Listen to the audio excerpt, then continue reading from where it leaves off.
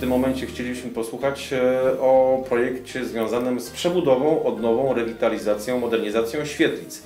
Dość duży, poważny projekt e, związany z kilkoma miejscowościami na terenie gminy. Udało się popełnić taki y, wniosek do Urzędu Marszałkowskiego na modernizację centrów kultury czy świetlic. No wiadomo, świetlica jest takim miejscem mm, no, kreującym kulturę w danej miejscowości, ale też miejscem spotkań, Integracja. integracji y, społeczności.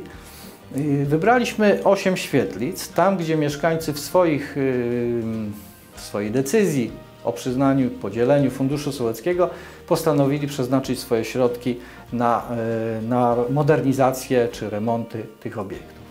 Uznaliśmy, że no, taka decyzja jest, jest bardzo dobra i dlaczego by nie, do, nie pomnożyć tych pieniędzy i, i uznać, że Fundusz Sołecki byłby doskonałym wkładem własnym do, do, do projektu. Tak to zostało skonstruowane i w tym momencie jesteśmy już po przetargu.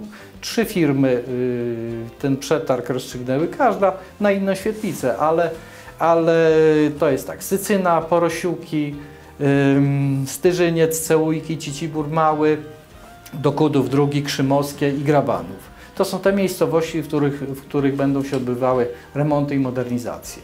Te właśnie najpoważniejsze prace, jakbyśmy mogli określić. Elewacja, dachy, ogrodzenie, Powiem w ten sposób. wyposażenie. Powiem w ten sposób.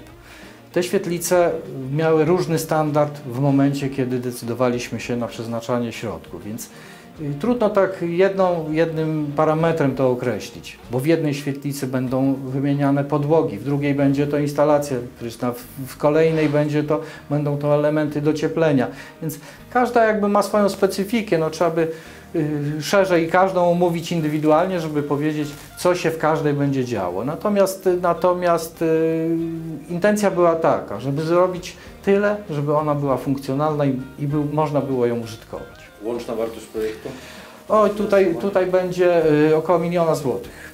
w tym, w tym dofinansowanie. wy, y, dofinansowanie na poziomie 75%.